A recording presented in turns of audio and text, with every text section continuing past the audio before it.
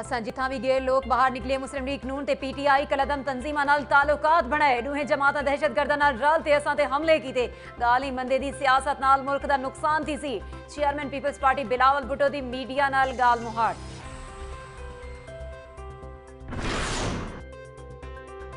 نگراں حکومت تحریک انصاف دے اشاریاں تے نشدی نچد پیے کارکنوں دی گرفتاری تے الیکشن کمیشن خاموش تماشائی بنیا رہا نیب صرف نون لیگ دیوار نہ کی کتنے کاروائی کرنے نہ پے دباؤ امیدواراں کو توڑیا گیا شفاف انتخابات تھے تا پنجاب خیبر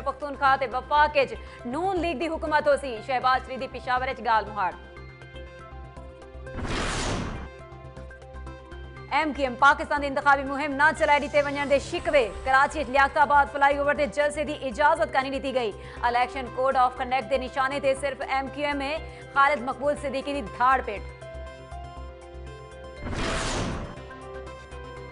ظاہر پیڑ چی ڈیان چوری سے ڈکیتی ایک درجن تو ود واردات شہری چھٹے ڈی لٹی جان لگے اکیلے پٹیاں بات لوگوں کا انوکھا احتجاج ڈی پی او رحیم خان توٹس گنان کا مطالبہ کر د